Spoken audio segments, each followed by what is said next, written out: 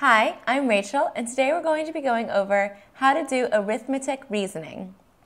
Well, there's so many different problems that you can do, but the main thing you want to do is if you have a problem with units, you want to put it into single units. What does that mean? That means that if you have a problem like a train is traveling at 300, it goes 300 miles in, let's say, six um, minutes, right?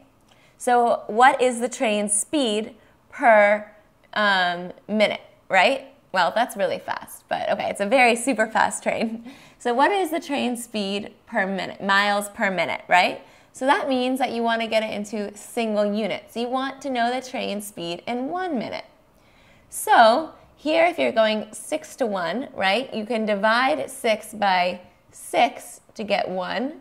So you can divide the numerator as well by one 300 divided by 6 is going to be 50.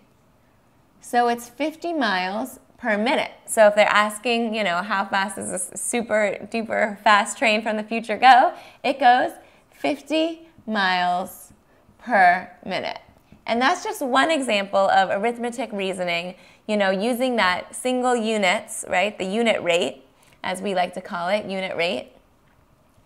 And we're reasoning you know, what is going to be the miles per minute of a train, knowing what we already know, and you apply it to the situation. I'm Rachel, and thank you for learning with me today.